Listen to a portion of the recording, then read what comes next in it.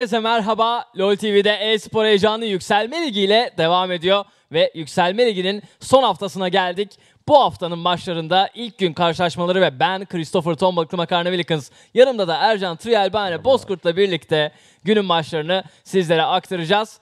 Bu hafta toplam 6 maç oynanacak ve hali hazırda şampiyonluğunu garantilemiş Meteor Makers ve yanı sıra ikinciliği garantilemiş olan Big Plays Incorporated artık formalite maçlarını oynayacak ama onlar için de şu önemli. Acaba diğer takımların yoluna taş koyacaklar mı? Bunu göreceğiz. Özellikle Çünkü ilk dört potasına girmek isteyen takımlar, üçüncü Evet. ve dördüncü sırayı kapmak isteyen takımların belki biraz daha böyle oyunlarını rahat bir şekilde oynamak isteyebilirler. kesinlikle öyle ve e, şunu belirtmemiz lazım. Oyun hizmetleri çileklerin işi biraz zor çünkü Meteor Makers'la oynuyorlar. Ne düşünüyorsun bu konuda? Hem Meteor Makers'la oynamak bir de saldırı gücü taşıyıcılarından da kan kaybetmiş olmaları belki biraz onların canlarını sıkabilir. Ee, bugüne kadar hani buraya gelmelerinin en büyük etmenlerinden bir tanesi bildiğimiz gibi Padden'dı. Padden artık kadroda yok. Belki bu çiçeklerin adına bir en büyük dezavantajlardan bir tanesi olabilir diye düşünüyorum. Evet peki Sen bir güldün. rejiyle orada ufak bir konuşmamız olmuştu da o yüzden. E, şunu soracağım sana bir yandan da. Yeni değişiklikler var. Zaten değişiklik yeni olur. E, yani. Evet, Big Plays Incorporated'da çok önemli bir değişim oldu. Aslında beğendiğimiz bir saldırı gücü taşıyıcısı, beğendiğimiz bir nişancı yedeğe çekildi. You ve yerine Padden geldi. Tabi bu ne demek oluyor? Oyun hizmetleri çileklerde de Madness Padden'ın yerine geldi demek oluyor. Ne düşünüyorsun bu değişiklikler hakkında? Ya Padden zaten kalitesini belli etmiş bir nişancı. Hani onu pek sorgulamak kesinlikle doğru olmaz ama burada çilekleri bırakmasının arkasında belki başka bir sebep olabilir. Takım içi anlaşmazlık olabilir veyahut da belki bir transfer de olabilir. Ee, duyduğum kadarıyla Padden'ı bırakma kararı çilekler tarafından verilmiş durumda. Yani çilekler Madness'ı Padden'a tercih etmiş ve Padden da takımsız kalmış ama sonrasında BPI ile anlaşarak yeniden lige geri döndü kendisi. E, muhtemelen e, böyle bir fırsat geçmişken hani şimdi birazcık işin içine hırsla bürün gir gelmiş gibi geliyor bana. Belki Padden burada çileklerin yoluna bir taş koyabilir. Evet bana da öyle geliyor açıkçası ama tabii bugün önemli olan karşılaşmalardan bir tanesi Team Aurora ile Big Plays Incorporated Evet. arasında. Team Aurora galibiyet alırsa bu noktada belki bir şansı olacak ilk dört için önemli bir avantaj elde edebilirler. Çünkü bir üst sıralarındaki Zone Esports şu an 3 galibiyette. Ama Zone'un da avantajı şu onlar son sıradaki FMF ile oynuyor ve FMF bir kere daha kadro değişikliğine gitti. Alt koridor oyuncuları Min ve Medagır'la yollar ayrıldı. Eski destek oyuncusu Vox ve Türkiye Kupası'nda ikinci olan takımdan tanıdığımız Mitra, Masternet Cafe'den bildiğimiz Mitra, senin de yakından tanıdığın bir Evet. oyuncu takıma katıldı. Herkesi tanıyorum ben aslında. evet, sen yani. aslında özellikle Lavio Mitra'yla e, iyi tanışıyorsun ve beraber çok oyun oynadın diye biliyorum. Yani kendi kanalımdan yaptığım yayınlarda evet birçok kez hani duo diye tabir ettiğimiz o iki kişi beraberinde oyunlar yapmıştık. Oynadık. İkisini de seviyorum ya oyun oyun tarzı olarak. tarzı mı? olarak evet. Yani e, ikisi de agresif oynamayı seviyor. Koridorunda üstünü kurmayı seven nişancılar ama tabii her zaman agresif oynamakta maalesef oyuncu size kazandırmıyor. Tabii ki. Bence ikisinin de eksik yönü biraz böyle defansif oynamayı öğrenmeleri gerekiyor. Peki senin gözünde bugün ilk dörde kimler girecek onu öğrenmek istiyorum. Birinci takım Meteor Makers. Orası kesin. İkinci takım Big Plays Incorporated. Onların da yeri garanti. Ama şu an puan tablosuna baktığımızda 4 galibiyetli bir oyun hizmetleri çilekler. 3 galibiyetli bir Zone Esports. 2 galibiyetli bir Team Aurora ve 1 galibiyetli FMF Esports var ki 4 takımın da hala bu noktada ilk dörde girme şansı devam ediyor. Ya burada e, Zon'un kadrosundaki isimlerden dolayı bana biraz daha şansı daha fazla gibi geliyor diğer 3 takımdan. E, özellikle Abaria ve Babunya gününde oldukları zaman oyunu taşıma potansiyelleri hat safhaya çıktığı için o takımının taşıma potansiyelini de iyi kullandıkları için yanındaki oyuncularla beraber ben burada onla, 3. sırayı onların kapatacağını düşünüyorum açıkçası. 4. sıra için ise Team Aurora'nın aslında kadrosu isimli, kadrosundaki isimler bayağı iyi ama bence hak ettikleri yerde değiller şu anda. Peki puan durumuna bir göz atacağız şimdi. Tekrardan az önce hatırlatmıştık işte Meteor Maker 8-0'la liderliği garantilemiş durumda. Onun hemen altında Big Plays Incorporated geliyor 6'ya 2. Onlar da tek mağlubiyetlerini Meteor Makers'tan aldı. Oyun hizmetleri çiçekler şu an 4'e 4 ile ilk 4'e en yakın takım Haklısın. olarak duruyor. Ve Zone Esports 3'e 5. Şimdi Zone'u geçebilecek iki takım var. Team Aurora ve FMF Esports Club. Bu hafta FMF Zone'la oynuyor. İki maçı da kazanmaları gerek. Eğer günün üçüncü maçında izleyeceğimiz Zone Esports FMF Esports Club karşılaşmasında Zone galip gelirse FMF'in şansı tamamen bitiyor. Eğer Team Aurora mağlup olur ilk maçında Big Plays Incorporated'a ve ardından da Zone galip gelirse yine ilk dört kesinleşiyor bu noktada. Yani çok kritik maçlar izleyeceğiz. Büyük ihtimalle ilk gün sonunda ilk dört takım belli olacak. Ya bugün için yani bugün en önemli takım o zaman FMF diyelim. Yani Evet. Kesinlikle kaybetme lüksleri yok. Kesinlikle. Diğer takımlar belki kaybedip işlerini zora sokabilir ama maalesef günün en belki de şanssız diye tabir edebileceğimiz takımı FMF olabilir. O yüzden ellerindeki şansı bence sonuna kadar kullanıp ellerine ne var ne yok oyun planı, oyun, oyun içi ekstra şampiyonlar olabilir, oyun içi stratejiler olabilir. Ne var ne yok hepsini vade yansıtmaları gerekiyor. Peki sen böyle bir haftada FMF'in yaptığı değişikliği doğru buluyor musun? Yani son haftaya kadar belli bir alt koridorla gidip son hafta iki oyuncuyu birden değiştirme yoluna gitmeleri. Ya böyle değişiklikleri aslında son hafta yapmak ya açıkçası hiç ben tasvip etmiyorum. Neden tasvip etmiyorum? Çünkü bu yeni gelen oyuncuların da bir anda hani zor bir yerde oynuyorsunuz. Zor bir durumda takım. Ya bir galibiyet, ile mağlubiyet olan bir takım. Hani bir anda böyle sanki o yeni gelen oyuncuları da böyle yani yeni demeyeyim de hani belli bir ara vermiş oyuncuları da ateş atmak gibi bir şey oluyor sanki. Ve, ve burada kötü bir performans sergilerse belki elinde olacak olabilecek seçenekleri de kapatıyor aslında. Evet. Hani bu yüzden ben pek taraftar değilim. Özellikle bu son haftalarda böyle oyuncuların takıma monte edilmesine. Peki oyuncuların son hafta takıma monte edilmesine karşıyım dedim bir nevi. Bu noktada Peda'nın BPA'ya bir şeyler katacağını, Lavio'dan ekstra bir getiri sağlayacağını düşünüyor musun? Ee, ilk aklıma gelen benim şu oluyor. İki oyuncu da metadaki nişancılara çok hakim. inanılmaz oyunlar yapabilme potansiyeline sahip iki oyuncu da. Ee, ikisi de bütün o oyun sonu güçlenen nişancıları iyi bir şekilde oynuyor. İşte Kalisto olsun, Vayne olsun, Tristan olsun hepsini iki, iki oyuncu da oynuyor.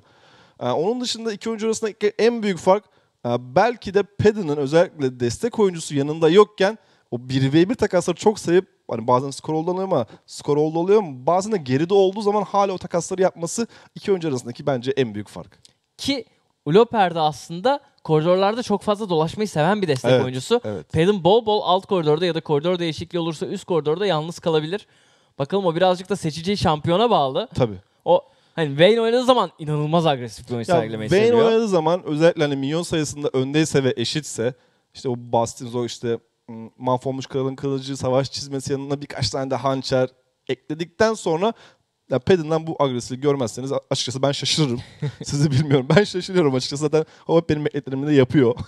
Hemen ultiyi basıp taklayla beraber direkt ilk ofansif hareketini gerçekleştiriyor. Ama yapması da gayet normal. Çünkü bazı insanların biliyorsun oyun tarzı ve oyun stili vardır. Hani değişebilir ama bu maalesef böyle bir ay, iki ay için olacak bir şey değil. Hani Evet.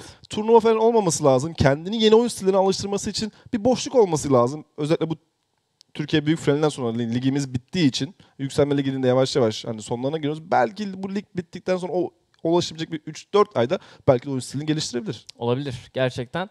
Bakalım Pedon nasıl bir performans sergileyecek? Ben bunu merakla bekliyorum. Takıma uyum sağlayabilecek mi? Onu merak ediyorum aslında. Ve son değişikliğe de değinelim. Madness'ın Pedon'ın yerine oyun hizmetleri çileklere geçmiş olması. Madness'ı zaten oyun hizmetlerinde Şampiyonluk Ligi'nin 7. haftasında izleme fırsatı bulmuştuk. Kendisini daha öncesinde Crew'den de tanıyoruz. Evet. Ve Yükselme Ligi'nin aslında gediklisi bir isim diyebiliriz kendisi için. Onu daha çok e, Jinx ile tanıdık aslında. Ve Vayne ile. E, Jinx ve Vayne hani ondan sonra Jinx'ten sonra Vayne'e gelecek. Özellikle hani yine oyun sonu güçlenen nişancılarla oynamayı seven bir oyuncu.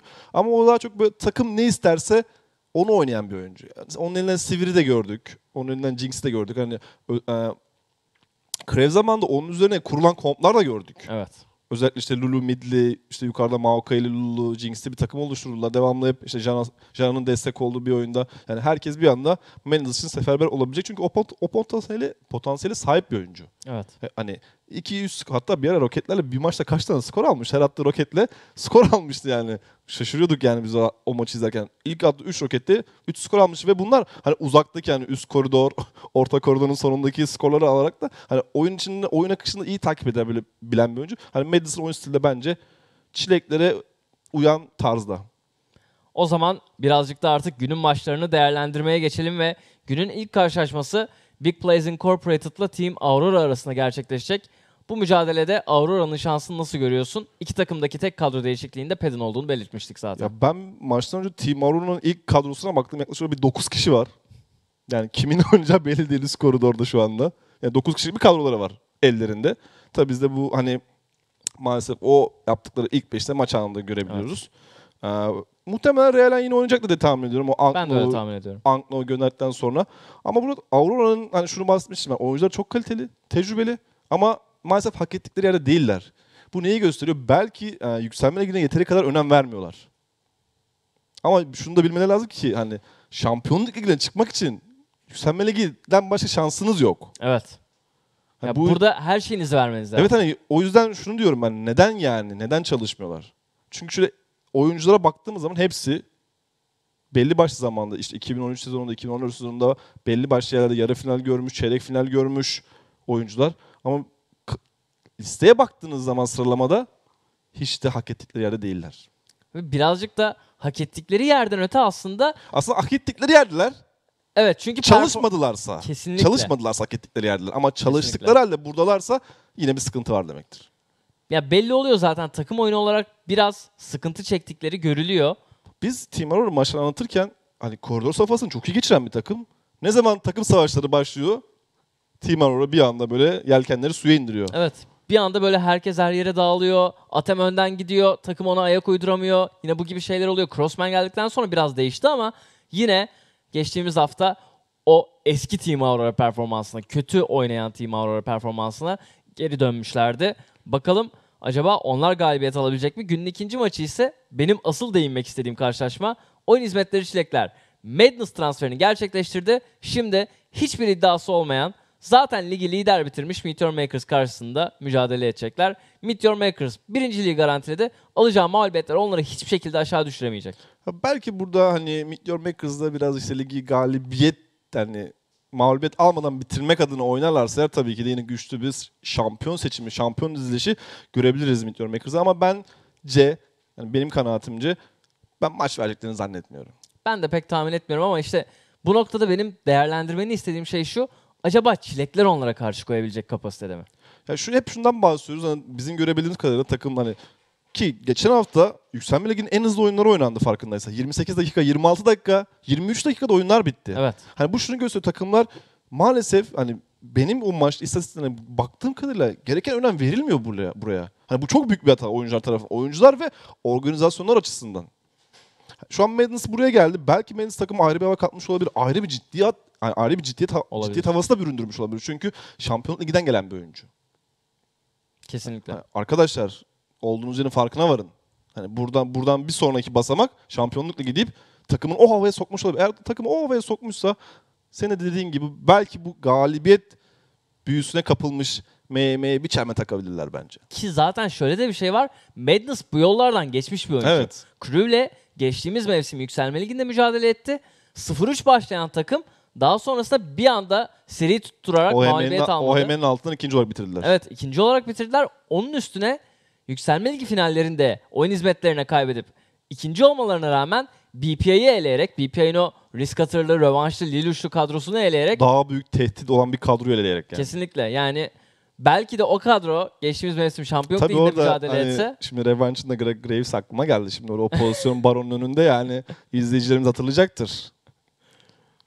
Yorum yapmak bile istemedim ama şimdi Ay- pozisyon aklıma geldi şu anda. onun onun o baron bölgesinde bir Bir şeyi var, bir gerçekten O- var. Yani biraz Matrix'e bürünüyor galiba böyle kayıp falan yani. oluyor gerçekten oluyor. Hani bir kayacağım şöyle hepsini çıkaracağım Mer- silah dağıtacağım. Mermilerin falan büyülerin onu bulmayacağını tahmin ediyor olabilir. Muhtemelen muhtemelen. Öyle bir durum var gerçekten.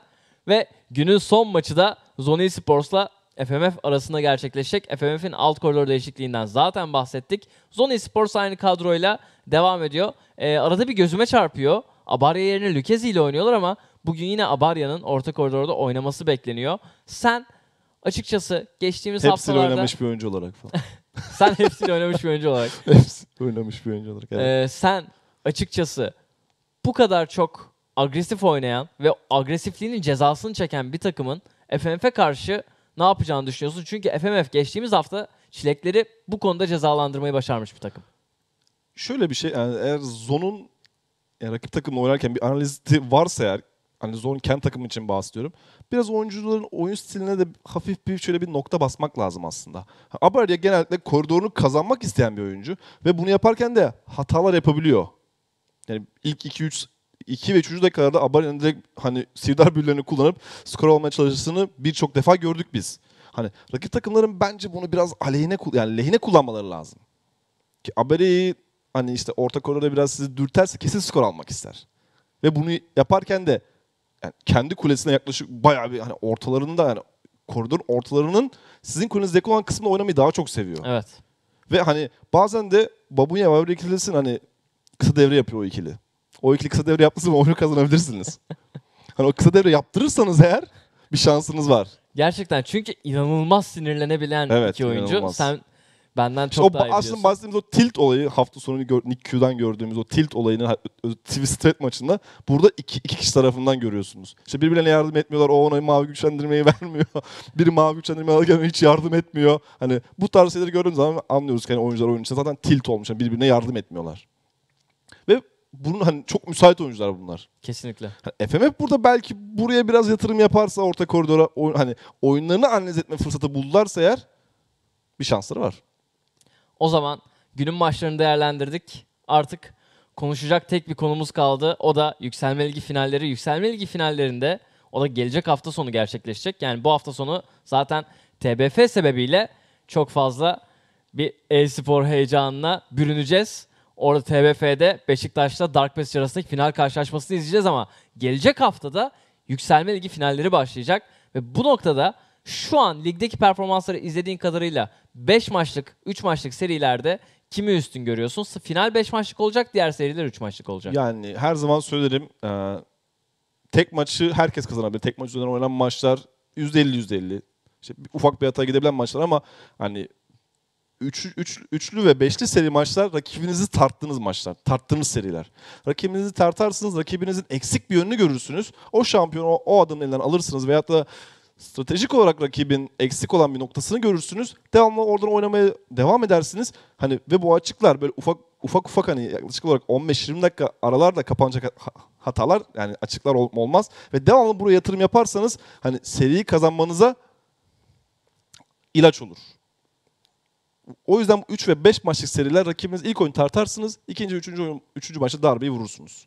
Tabii bunu yapabilecek potansiyel sahip takımlar da şu anda zaten ilk sırayı bence benim düşüncem kapatıyorlar. Yani Meteor Makers ve VPI'nin bu konuda oldukça önde olduğunu Evet. düşünüyorsun diğer takımlara oranla. Stratejik bakımdan.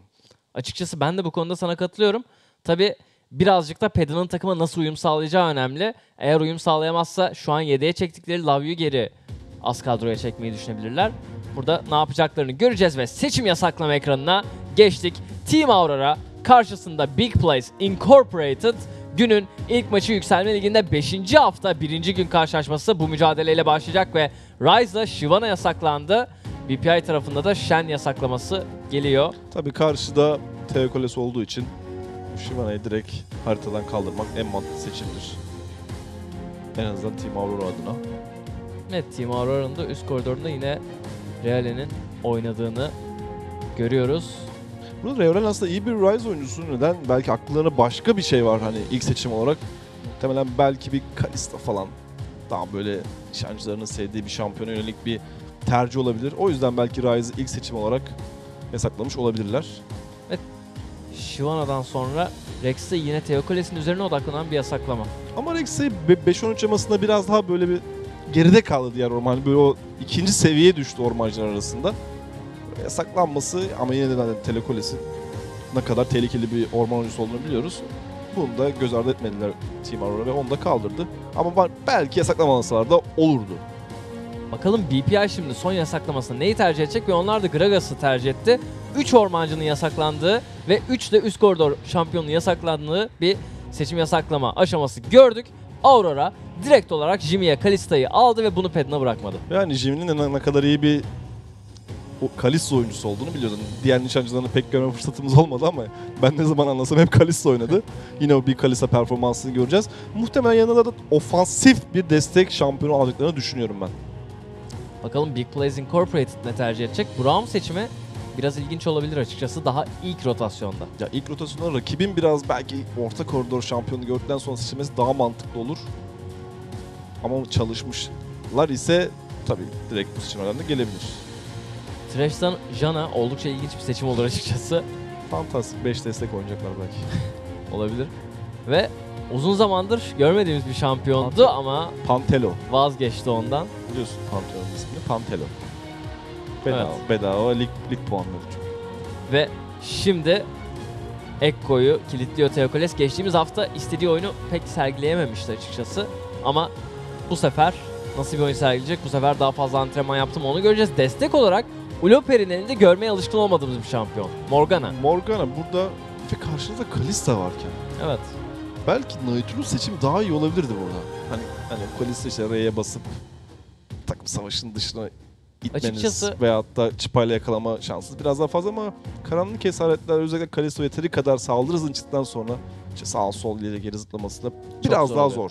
Tahmin etmeniz gerekiyor nereye zıplayacağını ama Kesinlikle. son dönemde Kalista'ya karşı çok fazla eni tercihini yapıldığını görüyoruz. Ben açıkçası bu noktada bir eni tercihi de gelebilir diye düşünüyordum ama şunu da görebiliriz. Sözünü bölüyorum. Rica ederim. E, Ravenna'nın çok fazla orta koridor Morgan oynadığını gördük. Neden bugün de burada BPI'nin orta koridor oyuncusu Link Sherez bunu yapmasın? Yani Morgana üst koridorda da gördük, ortada Evet. da gördük. Hani gidebilir. Acaba BPI buna hazırlıklı mı? Önemli olan bu. Çalıştılar mı? Yani Morgan'ın orta koridorda veyahut da üst koridorda oynanıldığında potansiyelinden haberleri var mı? Derken bu arada en azından orta koridora gitmeyeceğini biliyoruz artık. Lynx Çerez direkt Twist Fate'i hanesine yazdırdı. Anında kilitledi. De ve öbür taraftan da şu anda son 5-13 temasında tekrardan meta'ya geri dönen Elis ve Rumble ikilisi. Elis bu arada hasar potansiyeli inanılmaz. Evet. Tabi burada ormancının biraz da o eşya tercihlerine daha önemli ama bazısı ekstra can bonusuna gidiyor. Bazısı daha çok hasara dayanıklı eşya tercihleri yapıyor. Tabi burada kesinlikle oyuncunuzun oyun stiline bağlı. Tabi burada Elis'le hasara gidiyorsanız eğer üst koridor şampiyonunuzun biraz daha tank olması lazım ki burada Rumble var. O da olmayacağı için tank gidebilecek tek şampiyon maalesef Elis olması gerekiyor. Burada Evet. Team Aurora adına. Eğer ki Bard ve Victor seçimlerini yaparlarsa kesinlikle öyle gerekecek. Bu arada Ve çok kırılgan olacaklar. evet. Yalnız iki tarafta kırılgan oldu şu an diyebiliriz. Ekko tamamen tank gidecek diye varsayarsak Irelia yine üst koridorda olacak ve oyunun ilk 20 dakikası 25 dakikası onun da biraz kırılgan olacağını Evet. söylememiz gerek üçlü kuvveti bitene kadar. Şu var, e, Eko'ya da yetenek gücü çıkılıyor orman eşyalarından ama Irelia'nın eğer o güç patlama safhasını beklerse burada BPI sanki bir adım daha önde gibi seçimlerden. Çünkü şu Team Aurona'nın kompozisyonuna baktığımda inanılmaz kırılgan. Evet. Yani takım savaşlarında herhangi bir şey yanlış yapamazsınız. Yanlış yaptığınız an o Irelia'sının işte takımın içine girdiği zaman eğer onu bertaraf etmeyi başaramazsanız o Irelia muhtemelen yakaladığı hedefin canını yakacaktır. Peki Zergsting'in Bard seçimine ne diyorsun? Çünkü Zergsting oyun yapmayı çok seven bir isim ve onu ilk kez Bard oynarken göreceğiz Yükselme Ligi'nde. Ya Bart aslında şampiyon kitle olarak çok bu oyunları yapmaya elverişli bir şampiyon. Ee, özellikle koridor değişimi safhasında inanılmaz yetenekli bir şampiyon. O özellikle geçişiyle beraber duvardan açtığı ekstra yolla beraber sizi ve kendi ormancısını da rakibin arkasına çok iyi sarktırabilen bir oyuncu ve hani Zergsting bunu yapmayı sever. Evet.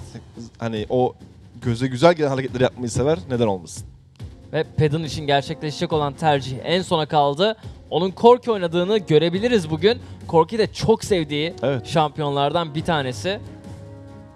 Ama zaten yeteri kadar hani büyü hasar olan bir takım derken zaten aldılar. Aslında bu BP'nin yaptığı takım kompozisyonu çok iyi. Neden diye sorarsan karanlık esareti yiyen hedef muhtemelen Twist Fate kartları ve Korki'nin o füze saldırılarına maruz kalacak. Evet. Ve bu sayede rakibi dürterek objektifleri almayı başarabilirler. Öbür tarafa baktığımız zaman Team Aurora'nın yani o Victor'un çekim alanını belki çok güzel bir atmos şeklinde üzerine gelecek bir Rumble ultisiyle beraber mükemmel işler başarabilirler. Ama bunu yapmak bayağı zor. Ya açık- yansıtmak zor. kesinlikle ama baktığımız zaman iki tarafında zincirleme kitle kontrol Evet, etkisi var. Evet. Bir tarafta Elis sayesinde, diğer tarafta da Twisted Fate ve Morgana sayesinde. Bar da sayarsak aslında arka arkaya. Evet, e, doğru diyorsun. Hani ben böyle garanti net kilitleyen bir büyü olarak düşündüm. Doğru diyorsun. Yani sonuçta da yetenek katmak atışı lazım. ikisi de yani. Tutar mı tutar. Kesinlikle. Ve bu noktada dikkat edilmesi gereken şampiyonun ben biraz Twisted Fate olduğunu düşünüyorum. Çünkü click stun dediğimiz dokunduğunuz anda yani herhangi bir yetenek atışı olmayan siz sarı kartı seçtiğiniz anda rakibi sersemleten Hedef atılan. evet hedefe atılan o büyüye sahip olan tek isim Twisted Fate burada. Twisted Fate'in kilitlediği bir şampiyon ortadan yok olabilir. Aslında ondan bahsetmiştik biz hani işte rakip takım Kalista almışken daha çok böyle hedefe atılan sersemletme efekt, efektine sahip şampiyonlara yönelmesi lazım dedik. Oradan bir tanesi evet Twisted Fate ama Twisted Fate o Kalista'nın menziline girdiği zaman başına neler gelebilir bilemem. Tabii Morgana kara kalkanı var ama hani bu takımın da büyü direnci yani yetenek yetenek gücünden verdiği hasar da göz ardı etmek Evet. kesinlikle yanlış olur. Yani özellikle o Alice'in intihar örümceği, yine Rumble'ın ultisi, Q'su yani bunlar hep o kalkanı kırabilecek yetenekler. makinesi, evet. Hani o kalkana güvenip eğer Twisted ultisiyle gelip herhangi bir şey yapmaya çalışırsa belki kendini bir anda o gri ekrana bakıyor olarak görebilir. Çok dikkatli olması lazım. Peki sen şimdi iki kompozisyonda değerlendirdin. Fakat ben şunu merak ediyorum. Orta koridorda Twisted Fate Victor eşleşmesi aslında çok da fazla görmediğimiz bir eşleşme. Evet. Neler düşünüyorsun? Aa, o ikilide e, Victor biraz daha ön safhada niye diye dersen özellikle o lazer ile beraber bir menzil üstünlüğü var. O lazer ile beraber Twisted Fate e, son vuruş yapmaya geldiği zaman normal saldırısıyla özellikle dürtebilir. O dürtmelerle beraber rakibinin koridor dışına itebilir. Tabi bunu yaparken de dikkat etmesi gereken bir şey var. Ormancı tehdidi. Çünkü rakibinizi dürtmek isterken az da olsa o biraz güvenli bölgenin dışına çıkıyorsunuz ister istemez. O güvenli bölgeden çıktığı dakikada biraz dikkatli olması lazım. Çünkü hani Teokoles hani baskın yapmayı çok seviyor. Özellikle erken safhalarda. Hani seviye 2 baskın yaptığını gördük sadece kırmızı güçlendirmesini aldıktan sonra. Hani ormanda çok zaman kaybeden bir ormancı değil. O yüzden biraz dürker, dürter, dürterken de dikkatli olması lazım burada Victor'un. Ama kesinlikle o 1v1 ikisinin arasındaki ben Victor'u biraz daha önde görüyorum. Kesinlikle ben de sana katılıyorum. Bu kadar ormancının yasaklandığı bir oyunda iki takımdan bir tarafta Teokoles, diğer tarafta da Atem hangisinin biraz daha baskın olacağını düşünüyorsun? Ben açıkçası Teokoles'in biraz daha agresif bir oyun sergileyeceğini düşünüyorum ama Atem'in de oldukça agresif bir ormancı olduğunu biliyoruz. Ya bizim e, Atem'in son zamanlarda gördüğümüz kadar takımıyla aynı frekansa bir şekilde ulaşamadı ta ki son maçlara kadar. E, burada e, Teokoles'in biraz daha rakip takımın dengesini bozacak hareketlere gideceğini biz ikimiz de biliyoruz burada. Çünkü çok maçını anlattık. Ben ona karşı da oynadım. Oradan da biliyorum. Kendi, aynı takımda da oynadık. Hani daha çok böyle rakibin hani belini kıran hareketler yapmayı seven bir oyuncu. O yüzden burada Atem'in şuna dikkat etmesi lazım.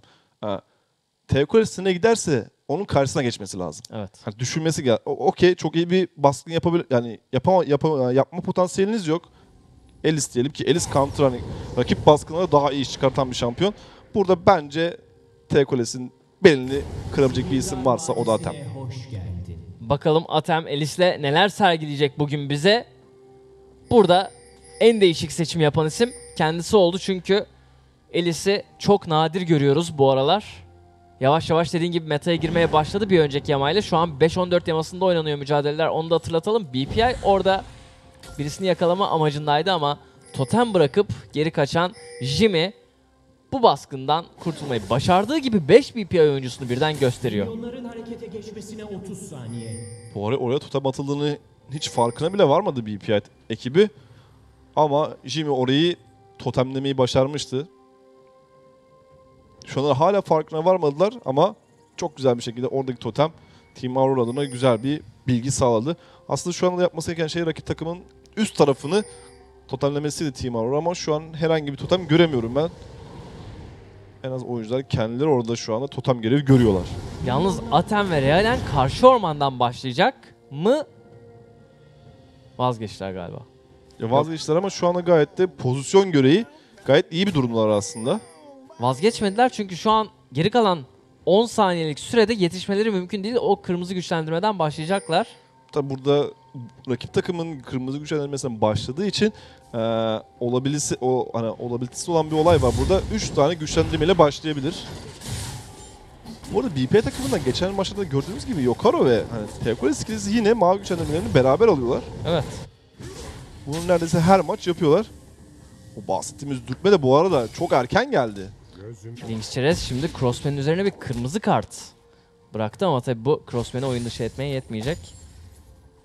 Crossman bayağı agresif o- oynuyor şu anda orta koridorda. Evet. Güç aktarımıyla başlamış o da. Ve hani güç aktarımından gelen ekstra kalkanla beraber de Bu arada Zerxing'den çok güzel bir kozmik bağ geldi. Yokaro o noktada biraz tanklamış kurtları ve şimdi o da kurtlar alarak ikinci seviye oldu. Yokaro'nun üst koridora ışınlanıyla gittiğini göreceğiz. Bu sırada Realen hala birinci seviye. Bakacağım acaba Evet Realen de şimdi ikinci seviye oldu. Bu durumda bence avantaj biraz Real'in tarafına geçti. Hem oradan geçen hızların üzerine Doran kalkanı vardı. Hani ilerleyen erken safhalarda ne kadar hani sıkıntılı bir şampiyon olduğunu bildiği için belki bir agresif bir seçimle de gidebilirdi aslında koridora.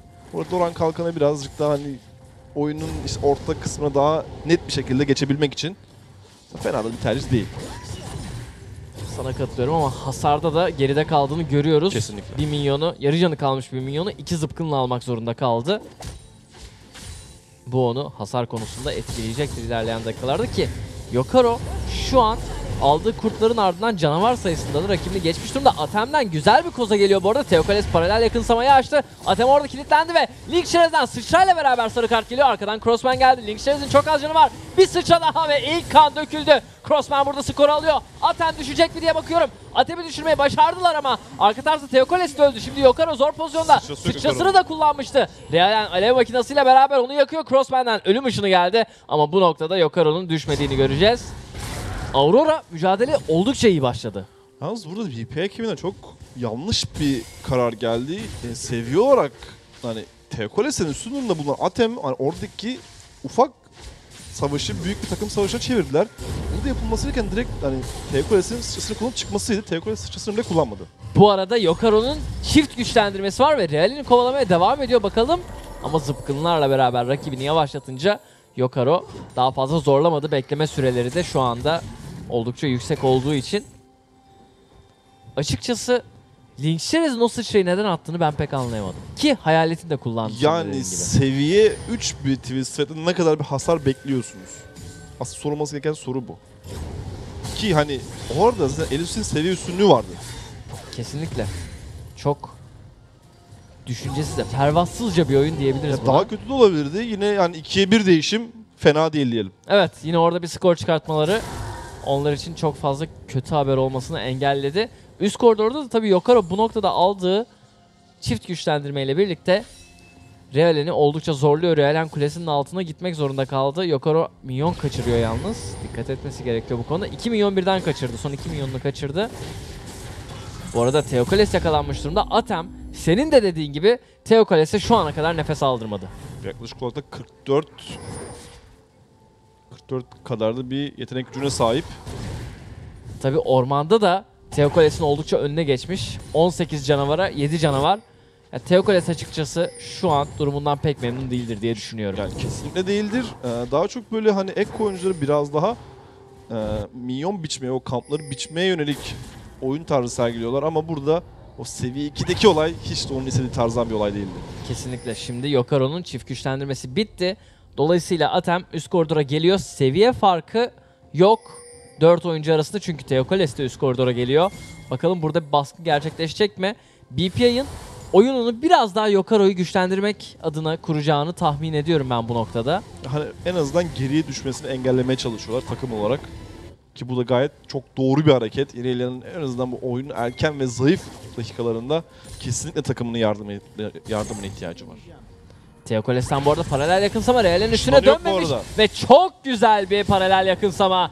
Burada skor Teokales'e gidiyor. Yokaro da ikinci skoruna katkıda bulundu takımının. Ve o paralel yakınsamayı yediğiniz anda sersemletme süresi 2 saniye kadar. Evet. Ne kadar uzun süre sü- yani uzun süre sürdüğünü de gördük. Tabi orada biraz önceki aksiyonda da sıçrasını attığı için maalesef. Açıkçası aslında paralel yakınsama içinden çıkması çok kolay bir yetenek. Çünkü 3 evet. saniyede geliyor oraya. Evet 3 tane göre muhtemelen öyle bir şey beklemiyordu. Veyahut da yeteri kadar dikkatini haritaya vermemişti.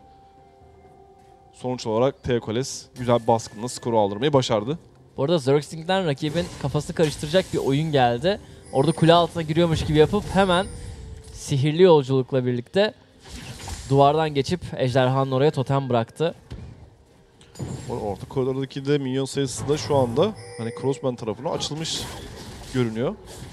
Tabii o oynarken safhasındaki ufak aksiyondan çok büyük bir yara aldı Lynx Ceres. Alt koridorda yine bir takas var. Jimmy ile Zerxing şu dakikaya kadar daha üstün görünen taraf Ped'in Uloper ikilisine karşı. Zaten arada oluşan 2 milyon dalgalık fark, 12 milyonluk, 13 milyonluk fark onların üstünlüğünü kanıtlar nitelikte. sadece koridorda baskın oynamakla yetinmiyorlar. Aynı zamanda minyon sayısında da öne geçmiş durumdalar. Burada Lynx Cherez de çok erken bir yön çizimini tercih etmiş. Muhtemelen ona ekstra gelecek olan hem Bekleme hem bekleme süresi hem de o yürüme hızıyla beraber belki lazerlerden biraz daha çabucak kurtulabilir o bilek hareketleriyle. ve aynı zamanda da ultisinin daha erken geleceğini söylememiz lazım bu Kesinlikle. noktada. Ona çok ihtiyacı olacak ama bu ne demek? Yetenek gücü yok demek. Sadece kitle kontrol etkisi görecek yaptığı baskınlarda. Yani şu safhada yapacağı baskın belki bir hani 3 ve 2 değil de belki ormancıyla beraber 4 ve 2 bir şeyler yapabilirler. Ama şu seviyede ben de hiç zannetmiyorum ki. Belki burada en dikkat etmesi gereken olay hani aşağı yukarı baskın yaparlarsa eğer barda fokuslanmamaları lazım. Kalista Evet. ultisine saygı göstermeleri gerekiyor. Yalnız bu arada çok ilginç bir durum. Twisted Fate, Link Sherez bir kere daha üstüne döndü ve çizmelerini güçlendirdi. Çok enteresan. Yani Efsun aldı ve sığınak Efsun'u ile beraber koridora hızlı geldi. Aynı zamanda bir tane de pembe totem aldı. Ya bu noktada 600 altını bu şekilde kullanmayı tercih etti. BPI'nin orta koridor oyuncusu. De çok güzel bir şekilde Üst koridora orada- bir baskın var bu arada. Realen kule altında Link Sherez bu baskınından başarıyla sonuç alıyor ve sen bir şey diyordun. Orada Zerus'in çok güzel bir şekilde orada Bağ ile beraber Yampri Engeci T-Kules'in ellerinden çalmayı başardı bu arada. T-Kules'i tutturarak çaldı bu arada. Güzel bir oyun olmuş Dirkstink'ten de. Şimdi üstünlüğü biraz daha ele geçiren BPI özellikle üst koridor tarafında üstünlüğü ele geçirdiler. Burada- Onlar alt koridora da biraz önem göstermek isteyecekler. Ya burada şeyden bahsediyorduk hani Irelia'nın biraz takımının ihtiyacı olduğunu bahsediyorduk. Atem belki burada doğru yerlerde olsaydı bu yapılan baskınları hani Rumble'a yapılan baskınların önüne geçip T-Kules'in biraz daha hani baskı yaparken acaba Atem burada mı düşüncesine sahip oldurmasını gerçekleştirebilirdi ama şu an Atem hiç orada olmadı. Yavaş yavaş da onun çekmeye başladılar. Bu arada Ped'in çok fazla hasar aldı alt koridorda. O kozmik bağ önemli bir hasar veriyor Ped'ına. Jimmy milyon farkını 20 milyona kadar çıkartmış ve arttırmaya da devam ediyor. Orta koridorda bir baskın gelecek mi diye baktım ama Link Sherez şu an kulesinin altında olduğu için o baskından yara alması pek de mümkün gözükmüyor. Ve hani alt koridorda çok Bu arada alt koridora şu an var. güzel bir baskın. Zergsting çok iyi kaçtı ama Jimmy ultisini kullanıyor. Jimmy'den güzel bir oyun. Zergsting kendisini Theokoles üzerine attı. Theokoles ultisini kullandı ama biraz yakına gitti sanki. Ya biraz garip bir ultiydi açıkçası. Evet. Hani kafasında ne vardı şahsen ben anlayamadım. Bence gölgesine dikkat etmedi. Mesela arkanızdan gelen bir ulti olduğu için hani değişik bir kullanım tercihi diyelim. Mantıken çok uzaklaşmış olamaz. Evet. Link Sherez bu arada biraz daha koridoru ittirdi ama o da önemli bir milyon farkı yemiş durumda Crossman'e karşı. Crossman oyunun başında aldığı iki skor sayesinde baskın yapmaya ihtiyaç duymadı. Tabi bu arada Oh. Koza geliyor ama Theokoles bundan kurtuldu. Hani bu arada minyon sayılarına bakarsak hani ormanda, orta koridorda ve nişancı pozisyonunda inanılmaz bir üstünlüğü var şu anda. Ve Link yakalandı. Sarı kartını kullanıyor. Hemen ulti geldi o noktada Crossman'den. Link orada kaos fırtınasından kaçmaya çalışıyor elinden geldiğince. Yalnız Bakalım Yokaro Oo. onu kurtaracak mı? Evet Yokaro da o noktada rahat bir biçimde Link buradan kaçacakmış gibi görünüyor. Yalnız Crossman'in sıçrası var. Arka taraftan gelip bir ölüm ışınıyla skoru almaya çalışabilir. Real'in ultisi yok. Dikkat etmesi gerekiyor Aurora'nın ve burada iyi bir karar vermeleri lazım. Crossman zorlamama kararı verdi. Koridoruna geri dönecek. ya sanki biraz gereksiz kovaladı. Evet. Ya orada rakibi o kadar kovalamışken orta koridora ittirip onun üste dönmesini bekleyebilirdi. Yani orta koridoru, koridoru ittirip hani kuleye haklı sayılır derecede bir hasar da bırakabilirdi. Bu arada ışınlan geliyor ejderha bölgesine bakalım çalabilecekler mi ve çaldı Pedon. Pedon. Ejderhayı çalmayı başarıyor. Zergsting sihirli yolculuğun ucunda yakalandı ama onu kovalamayan BPI üyeleri açıkçası Zergsting'in hayatını kurtarmış oldu. Zergsting'in hayatını ona hediye etmiş oldu diyebiliriz bu noktada. Burada Pedon bak buna ekstra bir şeyle ejderhayı kazanmayı başardı. Yalnız orta koridorda şimdi Theokoles yakalandı. Yine ilginç bir ulti. Crossman'e hasar verdi ama kendisi çok hasar aldı. Kaçamayacak bu noktada. Atem'de kalıyor skor. Aurora beklemediği bir skor buluyor burada. Beklemedikleri bir skor buluyor yani. Yine çok inandı burada. Tekoles Ve takım arkadaşından da yardım gelmedi aslında. Yani şuna dikkat etmeleri lazım. Şu an o Victor'un seviyesi 9. Yani bu T-Kulesi skor seviyesine baktığınız seviye 6 bu arada. İnanılmaz bir seviye üstünlüğü var şu anda. O Victor 2v1 yapacak kapasiteye sahip. Evet. Dikkat etmesi gerekiyordu Theokoles'in buna. Zannediyorum ki orada Link Şerez'le pek anlaşamadılar. Öyle bir şey sezdim. Jimmy tek yakalandı. Ve karanlık esaret ama hayır. Rahat bir biçimde bundan kaçıyor. Pedon tabi az önce çaldığı ejderha ile birlikte takımına önemli bir üstünlük getirdi. Her ne kadar şu an skor olmasa ve milyon dalgasında da e, milyon sayısında da 1 milyon dalgası geride olsa da açıkçası maça geri dönmüş gibi gözüküyor. Hem moralmen Şöyle hem de oyun olarak. Hani mental olarak şu anda takımına ekstra bir puan kazanır diyebiliriz burada. O yaptık. Kesinlikle hani kişisel bir oyun oldu bu. Ejderhayı çalmasıyla beraber. Bu arada Crossman de çalıda bir pusu kurmuş durumda ama BPI onun orada olduğunu biliyor. Bakalım şimdi orta koridorda Crossman bir şey yapacak mı? Hayır. Link Çerez zaten işaretlemişti onun orada olduğunu. Dolayısıyla rahat bir biçimde kaçmayı başardı. Yine Atem de gereğinden fazla şu an alt koridora yardım ediyor. Zaten alt koridorlarla herhangi bir sıkıntı çekmiyor şu anda. Belki de oraya Tekoles'in gelebileceğini düşünüyor olabilir. Ama Tekoles şu an haritanın çok değişik bir tarafında. Ve Realen'i kule altında bir kere daha Yalnız kesmek isteyecekler. Realen Link Çerez. ulti attı. Link Link- Çerez geliyor dediğin gibi ve alt koridorda Realen yakalanacak. Paralel yakınsama geldi. Teokales Realen'in üzerine gidiyor ve skor Link Çerez'e kaldı. BPI buradan tam da istediği sonucu aldı. Ya istediği sonucu aldı ama hani Team Aurora'nın buna cevap vermesi lazım. Evet bakalım Aurora bu cevabı verebilecek mi? Link Şerez kötü pozisyonda yakalanacak. Manası yok. yok. Çok güzel bir koza. Ölüm ışını geliyor. Skor atemde kaldı. Teokales'te az canı var. Crossman yakalandı şimdi. Yokar Onur'da. Skor alabilecek mi? Çekim alanı çok iyi geldi Crossman'dan. Bir ölüm ışın daha gelirse iki skor olabilir diyecektim. Ben diyemeden sağ tarafta gördük. Ekranın ortasında gördük. Crossman orada çizgiyi çekti. Skorları aldı. Crossman şu an inanılmaz oynadı. Çekim alanı kendi üzerine koydu. Yani Irelia'nın alandan çıkmasını sağladı. Irelia alandan çıkarken kendisi de Irelia'nın zıt yönüne gitti.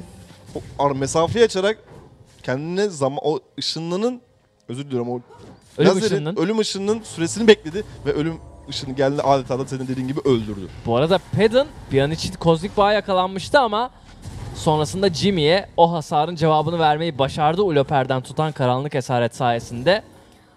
Crossman muhteşem oynadı bu arada. Kesinlikle. Ve hani sihirler büyüleri olduğu halde muhteşem oynadı. Hani hiçbirine Evet. başvurmadı bu arada. Ve Atem'i de bu noktada tebrik etmek lazım. O başta tutturduğu koza ve e, görüşü Bayağı hani olmadan tutturduğu koza Son pikselden çok uzaktan hatta. tabi bu noktada Elis'in kozasına gelen o güçlendirmeyi de hızının biraz artış Evet. artmış olması da büyük önem taşıyordu. Eski koza olsa belki tutmazdı ama bu tutuyor arkadaşlar. bu, bu tutuyor. Alt koridorda yine sıkıntı çekmeye devam eden bir Padding görüyoruz. Ya, o Aurora zaten bizim bastığımız o koridorları iyi oynayan bir takım olduğundan bahsetmiştik zaten. Onlar için en kritik dönem koridor safhası bittikten sonra takım savaşlarına bakalım neler yapacaklar. Oyunun bu dönemine kadar şu anda ellerinden gelenin en iyisini yaptılar BPI takımına karşı. Bakalım o eski alışkanlıkları devam mı edecek? Yoksa bizi şaşırtıp takım savaşlarına daha iyi bir potansiyel mi gösterecekler?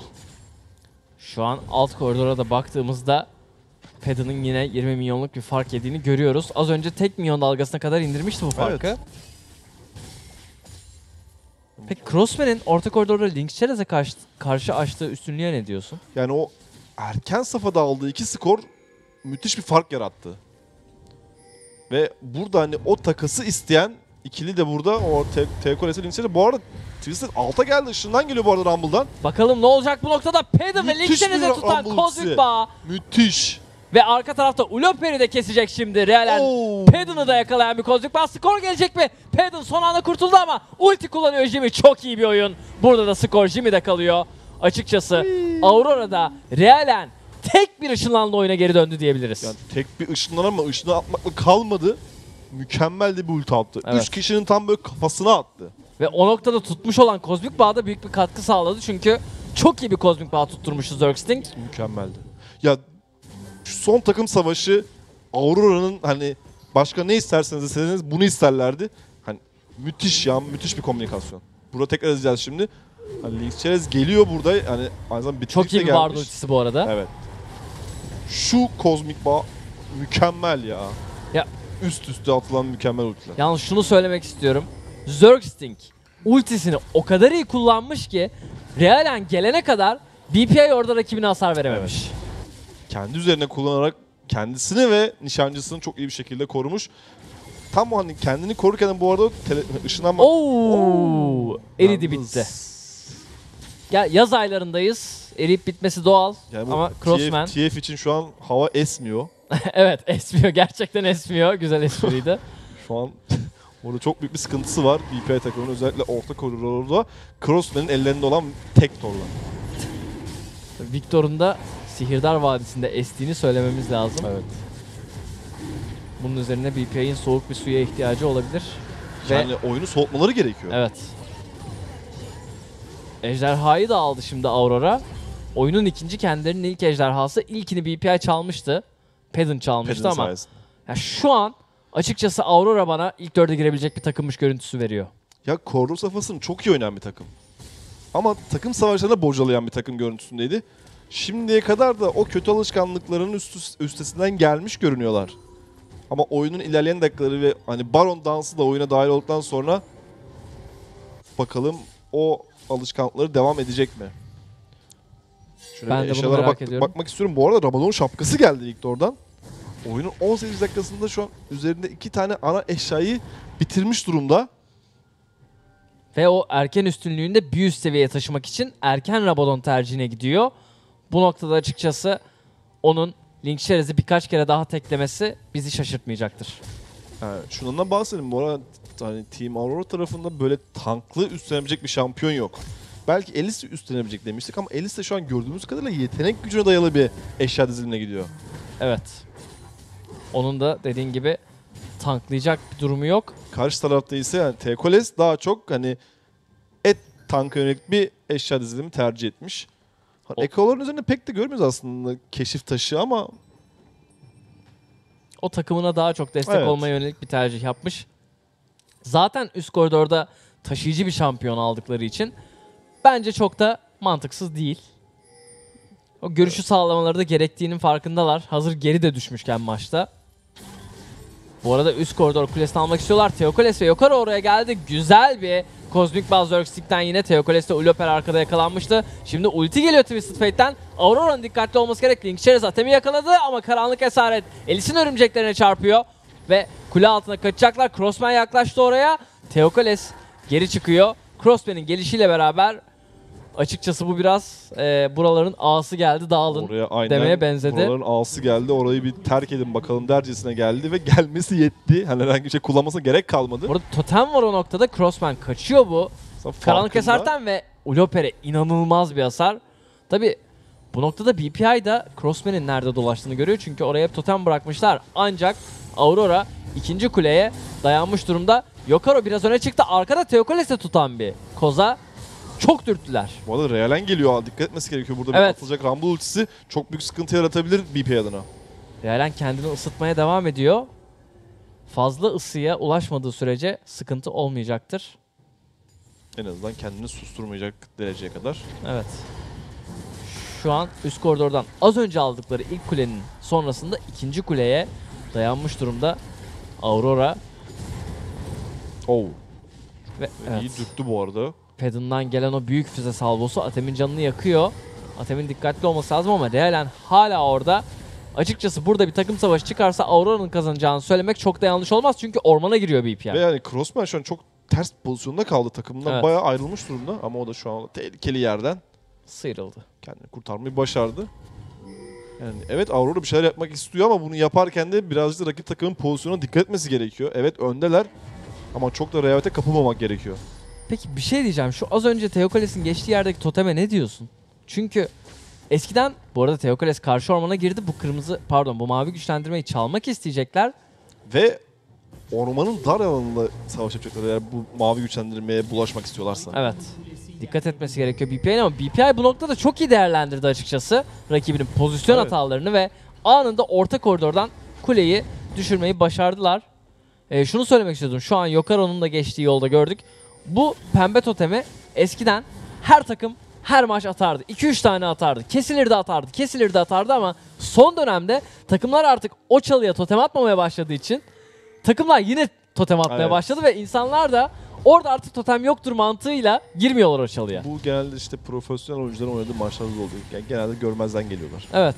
Ya veyahut da oradan geçerken haritanın başka bir yerine baktıkları için daha çok hani böyle yerden hani alana yapılan mesela A'ya basarak yürümek daha mantıklı.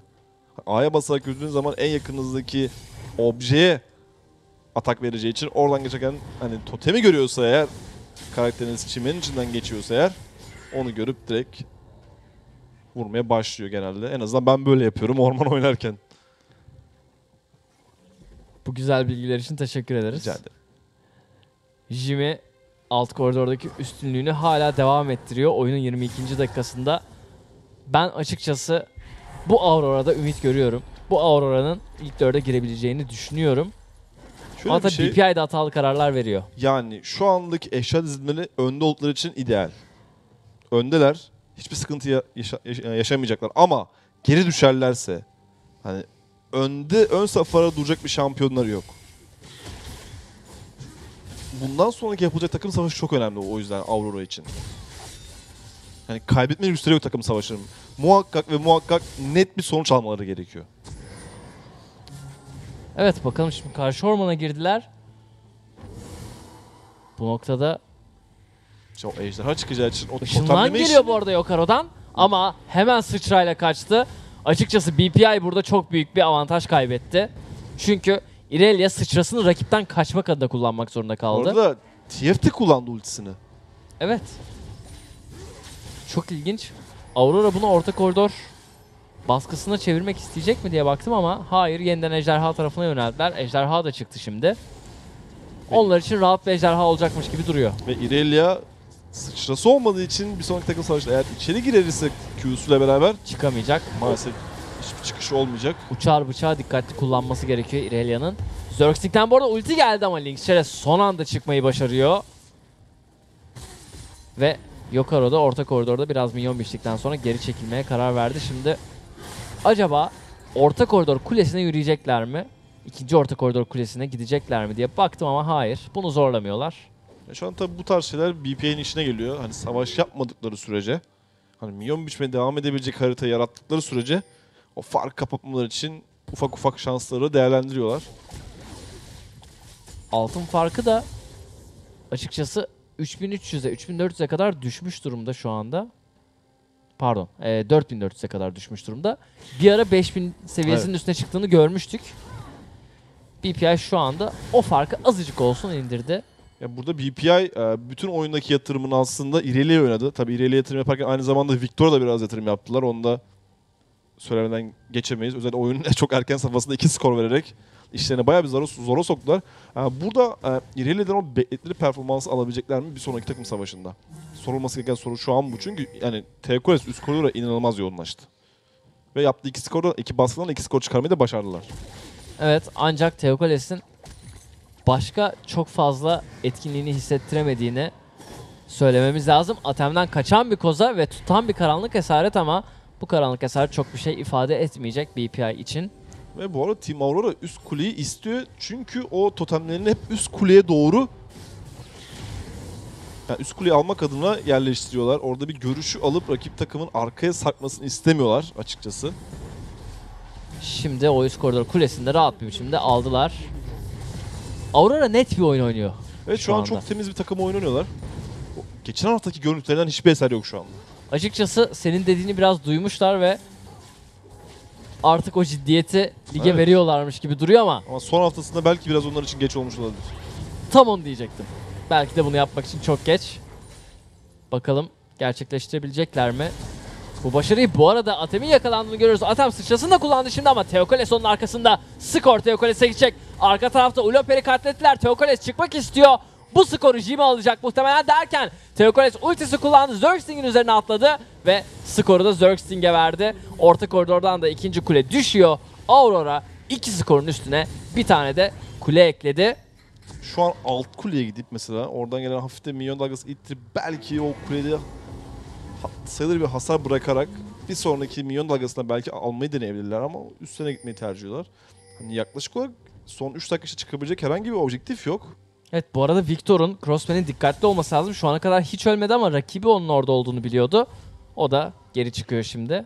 Acaba Luden'in feryadı mı yoksa Zonya'nın kum saatine mi gidecek orada? İşte Atem'in yakalandığı pozisyonu izliyoruz.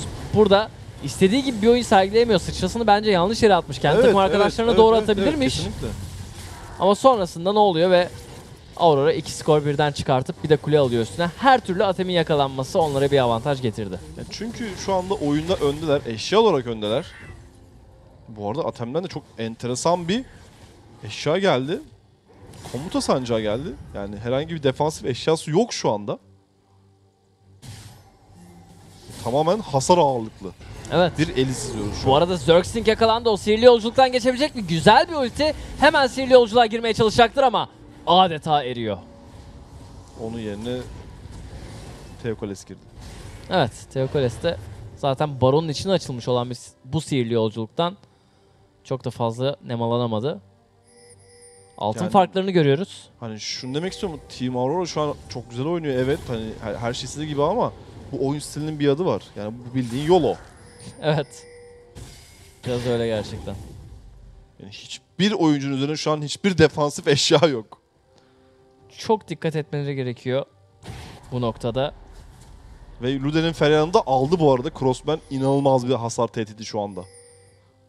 Şöyle bir bakıyorum evet yani Morgan da orada kalkanlı şu an üstüne almış. Yavaş yavaş Demir Sol Broş'a doğru da gidiyor. Ee, Victor'a az da olsa ufak bir önlem. Acaba Yokaro bu üstünlüğünü bir şey çevirebilecek mi diye düşünüyorum ben. Çünkü artık pek vakti kalmadı. Ulti geldi bu arada Link Şerez'den oradan çıkmak için. Kuleyi aldı ve hemen ultisiyle oradan çıkıyor. O arada hani BP ekibi de 4 kişi de ortadan bastırdı. Acaba dedim arkalarına doğru bir ışından mı Yalnız şimdi Yokaro yakalanıyor Bard ultisine ve Yokaro'nun üzerine gelen bir kozluk bağ ama paralel yakınsamayla beraber rakibi uzakta tutmayı başardı Theokoles. Burada boşa gitmiş bir Bard ultisi gördük. Bu arada e, BPI şunu yapabilir. Evet oyuna geriler ama yani rakibinin psikolojisiyle çok iyi oynayabilir. Özellikle Twisted Fate sayesinde. Hani Twisted Fate aşağıda gösterdiği ama o koridoru ittirip ittirip rakip takımı belki Baron'a zorlayıp Baron'u çalarak elinizde de Teokoles gibi bir oyuncu varken hani rakip takımı oraya zorlayarak belki Baron pitinde o Baron dansından bir şeyler çıkartabilirler aslında. Evet bu bir risk ama şu an BPI bu kadar geride olduğu için bence bu riski alabilirler senin de, senin de dediğin gibi. Tabii Çünkü bunun takım için- savaşlarında inanılmaz bir üstünlüğü var şu an Aurora'nın. Evet. Ya Crossman'in zaten kendi başına yarattığı etkiyi görüyoruz. Atem'den komuta sancağı tercihi. Genellikle destek oyuncularının yaptığını görürüz ama arada bir orman şampiyonlarının da yaptığını görmeye başladık bu aralar. Komuta sancağı meta'ya hızlı bir giriş yaptı. Yani öyle LCS'de oyun kazandılar. Burada neden olmasın? Evet. Muhtemelen orada ekstradan işte yan koridorları ittirme potansiyelini güçlendirmek adına ki elinizde de öyle bir şampiyon yok maalesef. Hani gitsin kulelere dam dam dam vursun şeklinde bir Jax mesela atıyorum. Gibi bir şampiyon olmadığı için tabii komuta sancıları burada aylık ittirme adına iyi bir eşya tercih diyebiliriz. Yalnız Yokaro yakalanacak şimdi. Yokaro neden oradan başta çıkmadı diye düşünüyorum. Kaos fırtınası geldi. Arkadan Rumble ultisi ve Bard ultisiyle beraber Yokaro'nun düştüğünü göreceğiz büyük ihtimalle. Skoru Atem aldı. Atem arkada yakalandı. Korki'den çok yüksek hasar. İşte bundan bahsediyorum ben. Üzerinizde hiçbir defansif eşya yok. Evet. Tamam hasar vuruyorsunuz ama iki rokete de yamuluyorsunuz. Aurora'da Atem saniyesinde öldü ve seni duydu. Hemen bir dev kemeri ekledi. Orada Aurora başladı o ejderhaya. Muhtemelen Jimmy almayı başaracaktır diye düşünüyorum. Evet Jimmy burada ciğerini sökle aldı ama Teokoles onu kovalıyor. Karanlık eser Jimmy'ye tuttu. Jimmy hala orada çok fazla hasar alıyor ama ölmedi. Jimmy'den bir ciğerini sök daha gelir mi? Yetmiyor. Arkada Teokoles yine ultisini ilginç bir biçimde kullandı. Crossman sihirli yolculuktan geçerek oradan kaçacak. Twisted Fate'den ulti kullanılıyor. Rumble'a ulti nereye? Rumble'a. Rumble'a ve Rumble orada düşüyor. Real'ini almayı başardılar. Biraz önce, biraz önce BPI Aurora'nın dengesini bozdu. Ee, Twisted Fate üst koridoru ittiriyordu. Ee, Realen kararsız kaldı. Önce TF'e doğru gitti. TF ultisini kullanınca TF'in gittiği yere ışından attı. Işından attıktan sonra tabii ki de TF geldiği için sizi sersemleterek hani adeta hani işlevsiz bırakıp üstüne de skor aldı. Ve şu anda da BPI barona başladı ki BPI'nin bunu yaptığını çok görüyoruz maçlarda. Teokoles'e şimdi arkadan geliyor. ama Bakalım o noktada kim yakalanacak? Güzel bir Kozmik Bağ. Link Şerez ölmek üzere. Link Şerez son bir vuruş gelir mi diye bakıyorum. Atem o noktada skor alıyor. Atem şimdi arkada yakalandı. Baron hala alınmış değil. 4 tane BPI oyuncusunun çok az canı var. Ve BPI oyuncuları oradan kaçmak zorunda kalıyor. Yani- Aurora Link Şerez'in hatası sayesinde işleri tersine çevirdi. Yani BPI bu barona girebilir. Herhangi bir sakınca yok. Ama rakibin Victor hayattayken neden giriyorsun? Yani Victor'u öldür gir. Herhangi bir sıkıntı yok. Rakibin en büyük hasar potansiyeli hayattayken ve hani çok da elverişli bir can, can havuzuna sahipken neden böyle bir şey tehlike atıyorsun. Ve şu anda hani rakip takıma bedava bir baron verebilir. Ve verdi. Evet. Aurora bu noktada Baron'u katletmeyi başardı senin de dediğin gibi. Burada bence hata tamamen Lynx Çerez'deydi. Yani Victor'un seviyesi 17. 17 şu anda. Bu Victor'u öldürmeden hani Baron etrafında evet oynayabilirsiniz. Hani rakibin görüşünü elinden alabilirsiniz. Rakibin görüşünü kısıtlayabilirsiniz. Ama Victor ölmeden bunu yapamazsınız. Victor'u da ekranda görüyoruz şu an. Rejimiz bize gösteriyor. Dikkat etmesi gerekiyor Crossman'ın bu dakikadan sonra. Çünkü muhtemelen BPA artık bunun farkına varmıştır ve ona odaklanacaktır diye tahmin ediyorum. Tabi arkaya geçmeleri çok da kolay olmuyor. Her ne kadar senin dediğin gibi Aurora YOLO bir oyun tarzı sergiliyorsa da herhangi bir tank eşyası kasmıyorsa da şu dakikaya kadar kitle kontrol etkilerini savaşlarda iyi kullandılar. Evet. Ve rakibi kendilerine yaklaştırmadılar. Özellikle Zergsting aslında gizli kahraman kozmik bağlarıyla çok can sıkıyor. Böyle bir takım kompozisyonunda ve böyle bir eşya diziliminde savaşı siz başlattığınız sürece sıkıntı yok. Ama savaşı sizin başlatmanız gerekiyor. Evet. Aurora bu dakikaya kadar onu yaptı. Ha, İlk ateşi sizin etmeniz lazım. Hani sizin bu takımınız kötü giden bir takım savaşını çok zor çevirir. Çünkü hasarda devamlılığa da Evet. sahip değiller Kalista dışında. Kalista'ya dikkat etmeleri lazım. Şu anda Baron güçlendirmesi beraber de haritada kalan son dış kuleyi de almak istiyorlar. Jimmy'nin varlığı onlara büyük bir katkı sağlıyor. Kalista seçimi Aurora'ya iyi geldi. Ve Jimmy hani en azından ben kendi adıma söyleyeyim 4-5 maçını anlatmışımdır. Bu arada Link Şerez bir kere daha yakalandı. Atem mi Link Şerez mi diye bakıyorum. Atem'den inanılmaz bir hasar ama Link Şerez'in potansiyelini küçümsemedi. Çok akıllıca bir oyun. Link Şerez ha- hayaletini kullanmak zorunda kalıyor. Sıçrası yok bu arada. Evet yok ve kaçacak o noktadan diye tahmin ediyorum. Hala Atem kovalıyor. Ulti geldi şimdi Link Şerez'den ve oradan çıkmayı başardı. Takımı şu an yalnız. Açıkçası orta koridor oyuncusunun mu olmamasını yeğlersiniz, ormancının mı deseniz ben ormancı diye tercih ederim ve şu an Aurora'nın ormancısı orada yok. BP'nin ise orta koridor oyuncusu yoktu ancak Link Şerez'in üste gidip kaçmayı başarması bu noktada Aurora'nın da geri çıkması anlamına geliyor. En azından onlar için bir kulede anlamına geldi ama daha fazla objektife yönelik bir oyun sergileyebilirler aslında. Belki de Baron hazır yarı süreymişken evet hani daha doğrusu orta koridorda biraz oyun yapmaya çalışmaları onlar adına biçilmiş kaftan olacaktır. Bakalım bu ortadaki Baron güçlendirmesini nasıl kullanılmayı değer nasıl kullanacaklar. Şu anda orta koridoru ittirmeye devam ediyor Aurora ve elinden geldiğince BPI de bunu önlemeye çalışıyor. Hani bakıyorum Twisted Fate var, Corki var, Morgana'nın zulüm toprağı var, kurmalı kapan var. Açıkçası BPI baronlu minyonları tutmak konusunda çok çok zorlanmayacaktır. En azından senin o saydığın büyü yetenekleriyle beraber. Ki baron bitti şu anda. Jimmy önde yakalandı. Link Shredder'ı tutan bir Oh. ulti ama o Rumble ultisi istenilen gibi gelmedi. Arka tarafta Atem çok fazla hasar aldı. Atem şimdi öne çıkmak zorunda kalıyor ve arka tarafta Crossman'in bir kere daha Link teklediğini görüyoruz. Ve Kaos fırtınası da Ped'in üzerinde. Bu noktada iki takım da geri çıkacak. BPI skoru verdi ama savunmayı başardı. savunmayı başardı ve neredeyse skor da alabilecekti. Bu hani sol tarafa baktığım zaman şu anda 3 tane oyuncunun canları yanıp sönüyor ve bunlar biraz daha hani daha azdı takım savaştan çıktıklarında. Yani Auros biraz tehlikeli bir oyun. Evet. Tehlikeli bir oyun oynamaya hala devam ediyor. Ben sadece dediğim anda bu arada Tekoles bizim görmediğimiz alanda Şöyle bir sıkıntı var. Tamam bu skora kameramız yetişemedi belki ama Crossman de o kadar hızlı öldürüyor ki. inanılmaz. Yetişmek mümkün değil. Bu arada Yokaro çok fazla hasar aldı. Atem şansını denemeye devam ediyor. Pedon'a saygı göstermedi bu noktada. Pedon füze salvosuyla skoru alıyor ama Pedon çıkabilecek mi? Zerxing'den kozmik bağ. Hayır. O noktadan kaçmayı başardı şimdilik. Ulti kullanılıyor Kalista'dan. Zerxing bir kozmik bağ daha. Twisted Fate oraya gelir söyleyecek. Twisted Fate geldi. Real'lerin üzerine hemen bir Mikael. Link Charles arkada yakalandı. Güzel bir ulti Zerxing'den. Crossman. Ölüm ışını. O işin çok Oo, can dakika, sıktı. takım Bu arada. Yokaro da geliyor o noktaya. Çekim alanı güzel. Rumble ultisi. Realen hala hayatta. Realen ne yapıyorsun sen? Arka arkaya skorlar yine Crossman'dan gelecek gibi duruyor. Tek Önce. Yokaro'yu sonra da Uloper'i kesti ve BPI'nin iki yabancı oyuncusunu öldüren Crossman takımının bir kere daha takım savaşından üstün çıkmasını sağlıyor. Bayağı uzun soluklu takım savaşı söyledik, izledik. Ortada Tekoles ölmesiyle başlayıp e, en son Irelia ve Morgana'nın ölmesine kadar devam etti. Haritanın ortasına başlayıp kayacılarda bitti desek yanlış söylemiş evet. olmayız kesinlikle. Alttan da bu arada çok güzel bir milyon dalgası da geliyor.